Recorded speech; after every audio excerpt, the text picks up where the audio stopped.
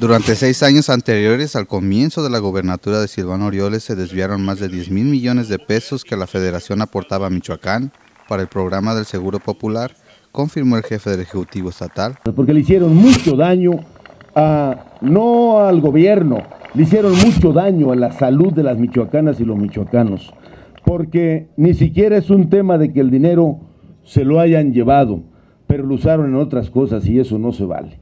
Eso no se vale habiendo tantas carencias y tantas necesidades en este sector. Gabriel Ochea Cuevas, titular de la Comisión Nacional de Protección Social en Salud, informó que el desvío de recursos se agudizó en 2011, cuando mil millones de pesos no se destinaron para el Seguro Popular.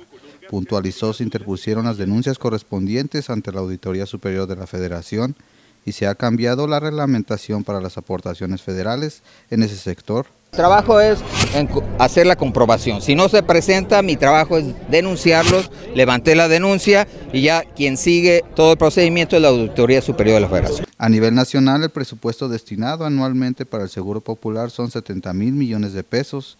A Michoacán se destinan 2.700 millones para los más de 2 millones de afiliados en la entidad. En coordinación con la Federación, el gobernador entregó también ambulancias a los 113 municipios del estado y aperturó la afiliación de beneficiarios de programas sociales al Seguro Popular.